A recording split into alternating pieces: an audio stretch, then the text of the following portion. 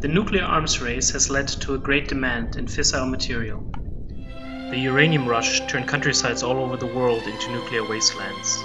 Uranium mining in countries like Canada, Australia, the United States, India, Germany, or Kazakhstan have led to severe environmental destruction of once flourishing countrysides, to radioactive contamination, and to detrimental health effects. Due to high cancer rates, safety measures were implemented. Because of this and the falling price of uranium, mining companies shifted to less developed countries. Countries like Niger, Gabon, or Namibia. Here, safety measures were minimal and health effects tremendous. IPPNW affiliates all over the world have been researching the health effects of uranium mining. Like here, in the German Erzgebirge, where for many decades uranium was mined for the Soviet nuclear weapons program.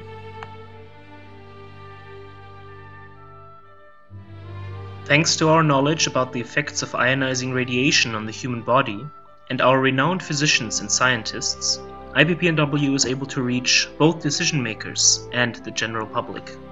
My name is Dr. Michael Dworkin. I am on board of Physicians for Global Survival, the Canadian affiliate of IPPNW. Canada is the second leading producer of uranium for the world.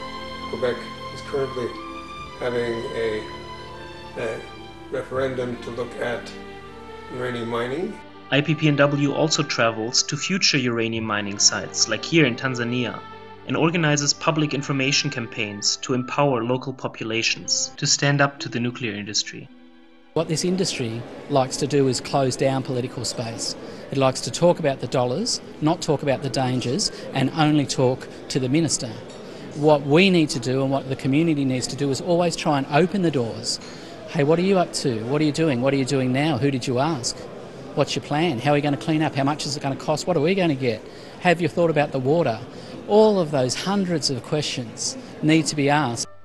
In 2013, IPPNW organized a conference on uranium mining in Tanzania to equip local groups with the necessary knowledge and support and to show them that they are not alone. They must collaborate with the other structures fighting against uranium, not only in Africa, but in all over the world. There's a much better strategy to base your arguments on um, uh, scientific evidence. The evidence is there.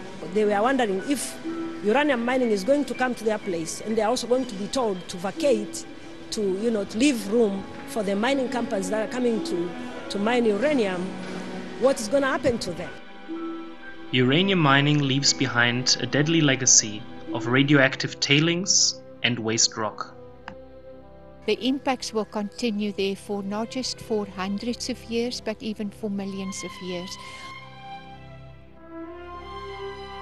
People are losing their livelihood, you know, because of just one group of people that are interested in extracting your raw materials.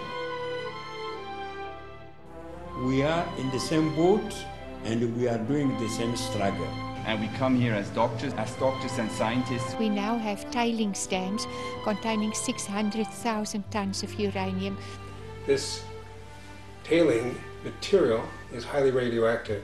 We hope that IPPNW will be successful in keeping uranium in the ground. Help us make a difference. Help to prevent more uranium mining Hibakusha. We are talking about our future, our generations, our children that are coming next. We are talking about lives here. Help us keep uranium where it belongs underground.